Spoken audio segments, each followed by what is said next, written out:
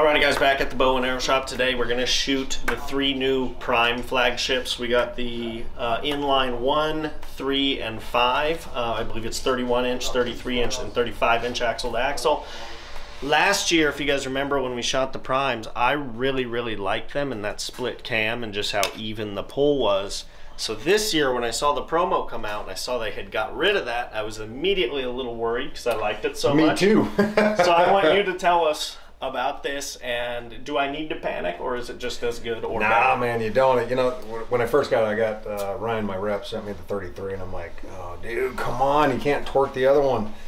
Then he started explaining the technology, and then I finally got my, my promos in, and I was like, oh, man, this is really cool tech. So what they did to kind of, you know, we and we covered it last year, right? Stiffest riser in the industry, the only grip uh, that's centered on the riser out of any bow manufacturer. So you're going to get more pointability, and then for nock travel, they give you a small cam, big cam. So that's how they get away with having the grip center. Flex guard. So all the tech that you remember out of last year on the Nexus line, it's going to be carried into the inline. What makes this nice is the cable. As you draw it back, the cable is going to track in on the mod and come back into line into the riser. So if you look at both those cables, they're on the inside of that riser, but it's also putting it right behind the string track, which is going to give you that point of if you go to torque it, it's going to snap your line right back. The inline's cool also just because of you can't torque the bow, right? So that was something that me and you liked on the Nexus line is if you you have to physically want to torque this shot because if not, it's going to bow's going to naturally snap a line. But also by that doing what it does is it's going to give you even pull on both sides of the axle. So no camling, right? But it's also going to give you more even of a shock. So you don't, because of that, camling. So what everybody's trying to do is they're trying to eliminate camling into a bow. Bowtech does it with sliding it back and forth. Prime's going to do it with your inline system instead of a dual track system. And also with Prime, you get a free string cable every two years for the life of the bow. Once you register it under your name, it starts the clock. So every two years, boom, string cable um, quite a savings for you. That's a really cool feature, and uh, I'm really excited to shoot this right now because, like I said, I really, really loved last year's primes. Um, so I'm interested to see if this is the same. Definitely short on me, but still get the feel. The draw is like crazy smooth. This reminds me of the Mathews No Cam back in the day, where it just rolls straight back. Right. Except this thing's probably not like I can't run faster than this arrow. the no cam. what There's not on? much dwell though, so Matt can see what you're talking about here. Yep. But So I'm gonna pretty dead though. Good feeling bow. I did notice. Is there any dwell adjustment on this? Yeah, bow you're on the you you're on the bottom side of this cam, right? So Oh, this okay. thing's way short. You just wanted to crack through it real quick, so I didn't set draw length on it. Got it. So if you're the, long, grip, the grip they also that's one thing we didn't cover on the inline. They carried the grip over. Um, we covered it a little bit last year. Um, it's a NASA product and gives you a lot of insulation on that front hand. it is super smooth.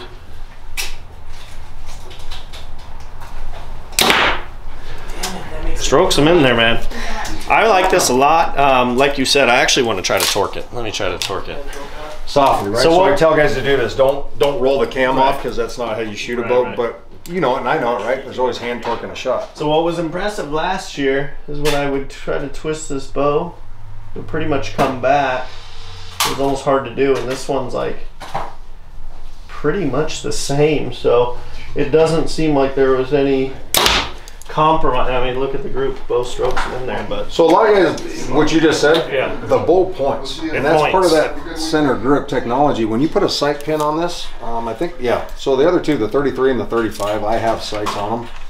So you can see how that pin holds. It's, oh. it's quite nice. So we're gonna roll into the next one. We'll see you guys then. We're here with the next Prime inline. This one here is the 33 inch version, so this is getting a little closer to my flavor. Although I am super excited to get to the 35, which is our next one.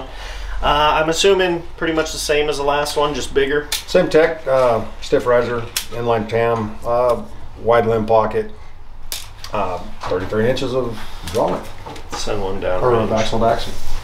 One thing that we didn't cover, James, is they do have a new dampening system on the bottom. Mm. So another big thing that I that I've noticed between the Nexus and the inline, the new bow for this year, I find it to be a little bit smoother of a draw cycle than the Nexus, and I find it to be a deader bow than the Nexus. They both point well. They both can't torque. just pleasurable bows. To I just love the way the draw just is a. Very it feels line- like it feels, lineal, right? It feels like yeah, very extremely lineal. Right. Thing hits hard. No, I know what you're saying. It does hold super well. Um, and the draw, it just there's no hump, no valley, no nothing. Um, which is what I liked about that Mathews no cam. This one feels just like that. It's almost like you're pulling a recurve. Look at that. I mean, one more, we might do a Robin Hood here in the shop.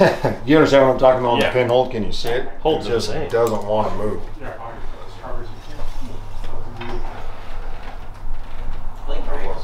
Grapes. Pretty much my. That one.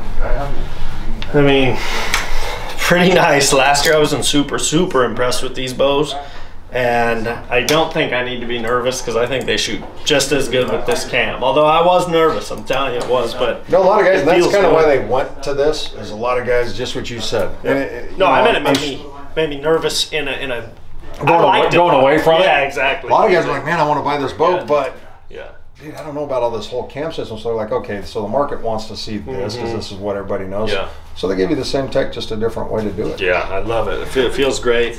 Um, and the one thing when they did have the split uh, cams, before I shot it, I always was scared if I fell, I would like bend it or break it or something. So that was, I know what you're saying. Like I had a little hesitation there, but in reality, like it's not any weaker than a single cam. It's just it looks different, so you're automatically like, ooh, Everybody you know, shies away from it. What's that? But let's get into that 35 because I'm very excited about. it. A lot of guys are going back and forth, right, between the 33, 35. 35, you know, for a guy that's going to be a Western State spot and stalk, that's your bread and butter. Look at this camo too. Sexy, right? Someone should come in and buy this today because it, it- once this video's out, this thing gonna be gone quick. I like that camel print Oh my on gosh. here. It just, it does look beautiful. That's a, like a desert scope. If you're watching this video, come straight to the shop and buy this because it's gonna be gone quick. this thing is bitching. I might, I might steal it out of here. We'll see. You're going on a hunt, you lucky dog. I know. Truck problems. We were supposed to be hunting today, but I figured seeing Bruce was the next best option. I even quit my hunt early today. Ooh, that one's pack's a little different. Maybe it's You got a longer draw. yeah. You got a, uh, about a half inch longer. What's this? 31. 30 and a half. Feels good though. I feel like I'm sure the draw's the same. I'm assuming because the cams are the same. Is there any difference in these cams? A lot of guys will pick up a 35 to be a little bit smoother or, or lineal just because it's a longer string angle or axle to axle. I feel like this one's quite a bit different almost. Your hold should your hold should be a little bit tighter with that just because of the axle to. I mean the draw. It's weird. It could just be me, and I've shot a lot of bows here today because we filmed two videos. But I feel like this one packs real hard, right in that last like three inches, where I didn't feel like the other two did. It's that draw length. You think? And it's probably if it was 29. You're loading up different yeah, here, right? Yeah, yeah. Easily my favorite of these three so far would be that 33, 33. but I would have to try it at uh, yeah the 33. I would have to try it at 29 to really know. But sweet bows, Cool I'm, I'm right? impressed by Prime, man. Something else for you guys as viewers, but doesn't mean a whole lot, but for me as a mechanic geek. So this is their shim system, right? So certain bows you're gonna have a bunch of different shims or this or that to be able to get rid of camling. They don't have camling because of that inline system, but let's say for some reason, James, you get a tear right and we can't get rid of it. Well, they give you shim systems, but this is a half moon shim now. So I can just loosen these. They have a tool, pop it in, pop it out. I don't need to take the whole thing out, re-shim. Really clean, elegant for me as a mechanic, but for back to the tunability of a bow, I want to be able to wrench on a bow. I want to be able to get rid of a, a tail high, tail right, left, right, and then I know the arrow's perfect, your draw length's perfect. I don't want to have to move 16 shims to achieve it. So Yeah. it's pop, pop, pop, done, boom, go Yeah. shoot. That's so cool. it's actually pretty cool tech. This is probably going to be the widest limb pocket out of all the bows. In Yeah, fact, it is because. I've measured them all. So Yeah. really, really wide stance on that bow. So But really cool. um, yeah, I mean, I think that's gonna Matt's gonna shoot this 33. He's never shot a, a prime before, so he's gonna shoot it, get some clips, get him reacted. But so I mean, to close kind of what me and Bruce are doing. I was worried. I was really worried to come in here and not like these because last year I liked them so much. But no, I'm not disappointed. I really like them all. Um, Prime did it again. I think they're it's kind of like I feel like all bow brands are so good now, like compared to ten years ago. That it's like like we said, I mean, it's like you can't really go wrong, but you should shoot all the brands so you know what feels best for you. It's like all the tech is high, all the companies have good shit. All right. Do you want a lighter bow? Do you want a heavier bow? Do you want a, whatever it might be? Sure. So, anyways, come into the bow shop.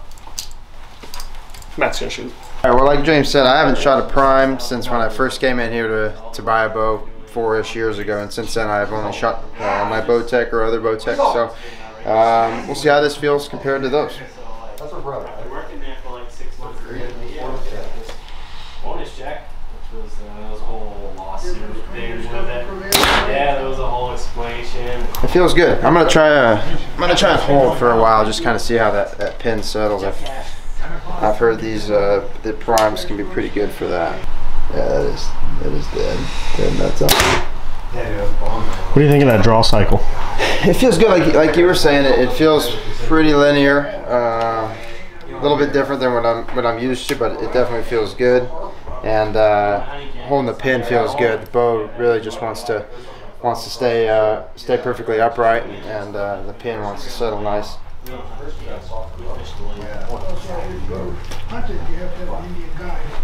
Bro, they are warm. Holy shit. Yeah, that's a good feeling bow for sure. Um, like I said, I haven't shot a prime uh, for a long time and, and don't have much experience with it, but shooting this feels feels really good. Everything feels like it just wants to track right back. Come behind me, James, like right over his head. So if you look at your string, how it comes off this cam line, and that cable picks up into that cam line. Do you see how that? Is that a? Do you have the angle there? Yeah. It's kind of hard to explain, but you can see it here. So it's tracking everything into that cam. Cables are on the inside of that riser, so everything is in line. Hence the name of the boat. I haven't felt the So the dwell's still nice. good It's dwell. not as pretty nice like dwell amount. I feel like I agree. great draw. It did make a huge difference now the draw feels going from 30 to 29 when I shoot made a huge difference. You're just in that power stroke of your draw cycle, right? Yeah. So. So that bow, that's going to be too. for the guy that's western hunting, wants that long shot. And I find You got like you, me an that 33 to 34 to 35. I shot a 36, the old uh, airborne The from Boss. Bowtech. I Yeah. shot the airborne, Yeah, airborne. Yeah. and I didn't have a problem with it, except I was in a ground blind. That's when I had to worry about stuff. So see if you Matt, if you zoom up here, you can see. I'll try to draw slow so you can see what he's talking about. If you get right behind me. See, it, it's kind of like almost like a saucer dish. it's actually a great way to explain. You know, it's like a dish that like scoops you in, or it's almost like a, uh, almost a little bit like a clutch, not quite, but just the way it like scoops the string in is pretty cool. They cupped it. And they cupped it, yeah.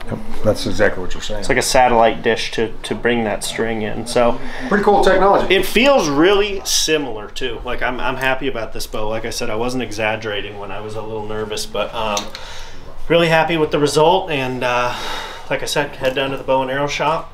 They got uh, PSE, Bowtech, Prime, Bear. Elite, Bear. elite. Yeah. So come on in if you like bows and want to shoot a bunch of them. This is the place to come. But like I said, come in, check them out, shoot them all, find out which one you like the best, and uh, we'll see you next time we're here at the Bow and Arrow Shop. So thanks to Matt for filming, and the boys for having me here on my birthday, shooting a bunch of bows. So you guys will see this one first, and then uh, another video in a few days. So thank You're you not going to have sushi and cocktails, are you? oh, we are. We're closing the shop. We're all going for the party. Yeah. thanks, guys. They're like, there's just not that many shops in Orange County. I don't know if you know of any up there. They're like, you got to go out to like. Okay, so those two guys that I just talked to, Yeah. they're from Orange County. And they come down here. dude, we're, we're coming here. That- I wish I. could- I mean, I gotta just tell guys because I've I've tried to tell them I got this is what I have at a shop. Someone like you that knows everything about the bow and more, can tune the bow, can fix whatever's going on with you. I feel like a lot of times guys will tell me that they went to the shop and they got sold like eight different releases and you know two different sights because they just they just sell them whatever they want to buy. Versus you can know what somebody needs. And I'm a big, I'm a big, huge proponent. Look, man, James said it earlier. I might like this, you might like that, I might like this. I'm gonna have you shoot. You know, what do you? You want to shoot a thumb or a trigger? I want to shoot a thumb. Okay, we're gonna shoot blah blah blah blah blah blah. Right. Or I want to shoot a trigger. You know, case You're not point, trying. You're a not trying to lead somebody to what Right. you shoot. Yeah, You're I letting want you. I want you to be happy with what you. Yeah. I'm going to tell you all about all of it. So Well- make your own decision. Well, not to mention too, like, um, you know, a lot of those other shops unfortunately don't really teach people how to shoot. Exactly. You know, whereas like here you come in and people have, you know, there's just about every video you. That's you've why seen I from like- here has yeah. Bruce just like this. or right. someone else, yeah, Right. yeah. So he's, Yeah. he's he's in there. The gap between buying a bow and being successful with a bow is, is huge. So having someone like you to get you, you know, dialed in with the bow. My, my biggest thing someone is, like is James for the why, hunting why, part. be, why have an archery shop if you're not going to? I mean, the reason I got in this, I just want to make people good. Yeah. And, and I, I think I said it four or five videos ago. You know, I want to show you how to shoot a bow. I want you to get better, and I want to go do a 3D shoot and have Yeah. to pay someone 50 bucks. You know what I mean? Remember that? Yeah, oh, yeah. I mean, that- that's- Old days. Dude, that's rad. That- that's what it's all about, man. I mean, I want you to whoop my ass.